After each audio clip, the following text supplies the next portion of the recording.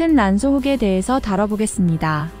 어, 저도 사실은 어, 난소 종양이 그래도 한 20cm 이상 되는 난소 낭종 같은 거 치료 경험도 있고 하기 때문에 근데 이제 낭종이라는 거는 보통 이제 액체가 차 있으니까 보통 이제 20cm 정도 되면은 많게는 뭐 한 3, 4리터 이상의 액체가 고여 있는 경우가 있어요. 근데 보통 3, 4리터의 물이라고 하면 3, 4kg 정도가 되는 거죠. 근데 이제 아마 이 여성분 같은 경우는 일단은 사진상 배도 엄청나게 크고 이분도 이제 체격도 굉장히 좋기 때문에 이호 혹은 어 제가 봤을 때 낭종보다는 난소에도 드물게는 살덩어리 혹이 생깁니다. 그래서 섬유종이라든지 아니면 기형종 중에 이제 고형 성분이 많은 그런 혹이 아니었을까. 그런 혹들이 이제 훨씬 무게가 많이 나가게 되거든요. 낭종은 기껏해야 이제 물의 무게인데 이런 살혹들은 정말 이제 살덩어리, 근육덩어리와 같은 정도의 무게를 가질 수가 있는 거죠. 47kg면 어떻게 보면 이제 이렇게 좀 날씬한 여성의 어떤 몸무게 정도가 되는 건데 이거는 정말 정말 좀 어떻게 보면 좀 드문 경우로 그렇게 생각이 됩니다. 어, 난소 혹 때문에 살이 찌기보다는 이제 배가 나오는데 자기가 살이 찌는 걸로 알았던 거죠. 근데 실제적으로는 이 지방 살이 아니라 난소가 커지는 거였다. 이렇게 이제 밝혀지는 경우들이 종종 있습니다. 그래서 여성들이 이제 아랫배가 좀 빵빵해진다. 아랫배가 나오는 것 같다라고 하면 물론 이제 다이어트도 해야겠지만 혹시 자궁 난소의 혹이 아닌지 우리 병원에 와서 확인하는 것도 중요하겠습니다. 이 사례 피해자분 같은 경우는 아마 이제 초등학교 이제 고학년 때부터도 이제 이렇게 배가 나오고 난소에 이제 혹이 있지 않았나 싶습니다. 이런 경우 보통 이렇게 10대 아니면 그 이하의 나이에 생기는 경우는 이제 선천적인 원인이죠. 난소에 이제 종양이 생기는 건데 다행히 오랫동안 커지기만 했지 이게 이제 악성 종양이어서 온몸에 퍼지는 그런 종양은 아니었던 걸로 일단은 생각이 듭니다. 그래도 이제 가로 세로 50cm나 됐기 때문에 상당히 큰 거고 아마 이제 나이가 들에 따라서 점점 커졌을 거고 보통 같으면 이제 병원에 와서 확인을 했을 텐데 이분은 정말 예외적으로 그러지 않고 그냥 이제 살이 찌는 미국 같은 경우는 굉장히 이제 고도비만 여성들 남성들도 많이 있잖아요 그래서 아마 그런 정도로 생각을 하고 그냥 방치한 게 아닌가 그런 생각이 듭니다 그래서 이제 아까 말씀드렸던 것처럼 아랫배가 나온다든지 빵빵한 느낌이 들면 그냥 살이 찌는 걸로 이렇게 치부하지 마시고 여성들 같은 경우는 혹시 자궁 난소의 혹은 아닌지 한번 검진해 보는 것이 좋겠습니다. 信他。